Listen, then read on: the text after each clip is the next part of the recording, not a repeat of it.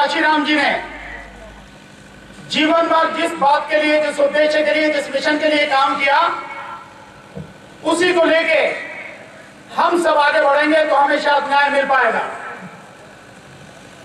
अन्यथा इस देश में आज की तारीख में जीना भी बहुत दूभर होता चला जा रहा है। इसलिए हमने मानव साहब काशीराम जी के जन्मदिन को चुना और मेरठ को चुना। और उद्देश्य हमारा बहुत सीधा सीधा है कि जो बहुजन समाज है, इस बहुजन समाज को समझने को यह ना समझे कि जाति विशेष का एक संगठन है, या किसी जाति विशेष की बात है। बहुजन समाज का मतलब है अनुसूचित जाति, अनुसूचित जनजाति और अन्य पिछड़ा वर्ग तथा माइनॉरिटीज जिसमें मुस्लिम समाज, सिख समाज बाकी माइनॉरिटी में जो कम संख्या में देश में लोग हैं, उन सबको मिला के जो समाज बनता है, वो बहुजन समाज कहलाता है।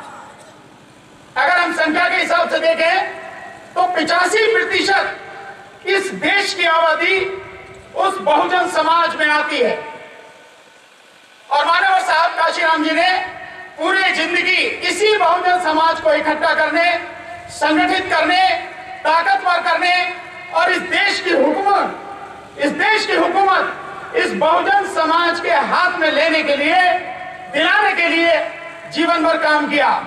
क्योंकि उनका बिल्कुल स्पष्ट मानना था और उन्होंने कहा भी था कि मैं बहुजन समाज को इस देश का हुक्मरान बनाना चाहता हूँ।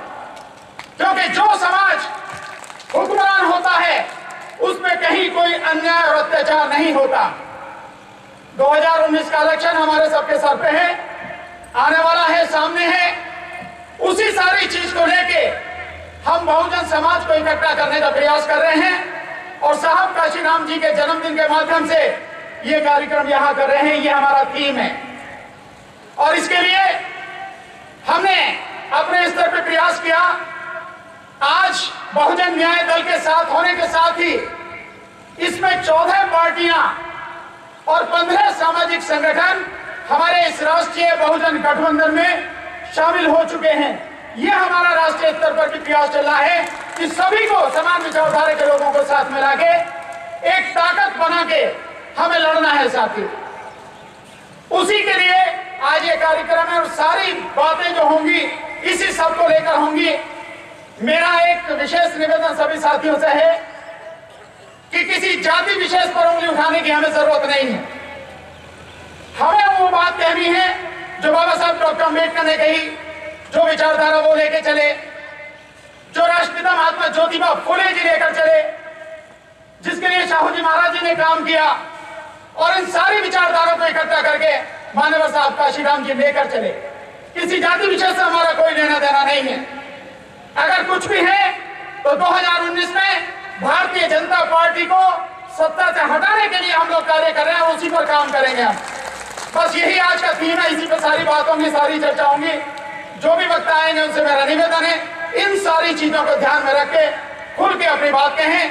किसी को गाली देने की ज़रूरत नहीं, किसी को अपमानित करने की ज़रूरत नहीं। हम विचारधारा के साथ हैं। विचारधारा जो बहुजन समाज की है, उसके लिए हम काम कर रहे हैं और बाकी उसके विरोध में जो भी काम करिए, हम उसके विरोध में हैं, साथियों। बस इतना ही है।